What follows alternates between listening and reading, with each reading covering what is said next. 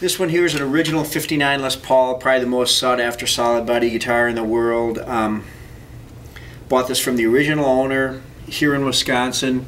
Uh, we've got pictures of her playing in her band in like the mid to late 60s. Nice old lady that had it. We get calls about stuff all the time, and a lot of them turn out to be just like, oh, I've got this guitar, I've got that. And you get there, and it turns out not to be what, what you thought it was. But this lady called me up and I said, sure, you've got a burst lady, you know. And so she's like, well, yeah. I said, what's the serial number? So I, she described it all to me. I was like, so we drove over there and took a look at it. And I mean, and right then and there, I knew I wasn't going to leave that house without buying that guitar.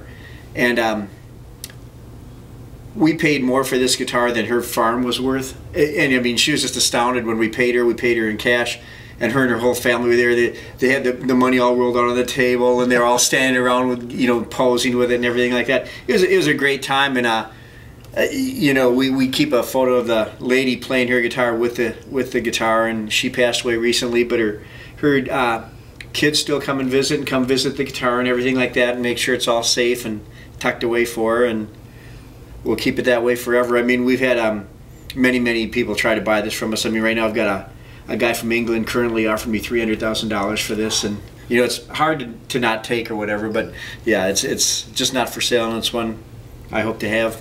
Now I noticed that we got a little bit darker up here. that seems the burst has faded over the years. Why does that oh, happen? This guitar was super red when we bought it. I mean, the color was just vibrant, and uh, if you took off the pickguard or these pickup rings, it would still be really red underneath there.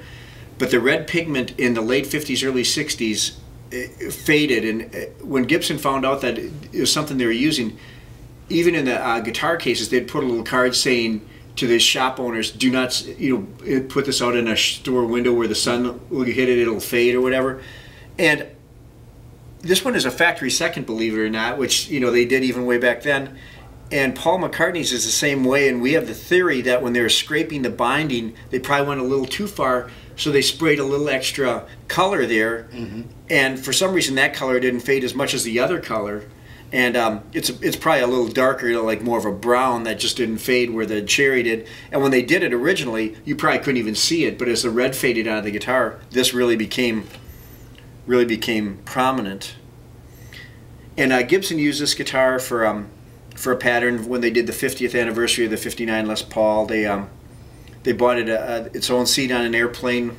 We took it down there and uh, they took it all apart and measured everything out to analyze the specs of it all. And uh, it was a very, very fun trip. Yeah, uh, they put me up in a nice hotel for like three days while they had the guitar and went over everything on it. And it was a great time. So did you take the guitar down? I took the guitar down, yeah. So did you get any funny looks with the guitar setting? Oh, I sure did. Yeah, you know, everybody's like, oh, you know, what is that? You know, whatever. But yeah, I had it seat belted in and next to me and everything like that. So yeah, it is a.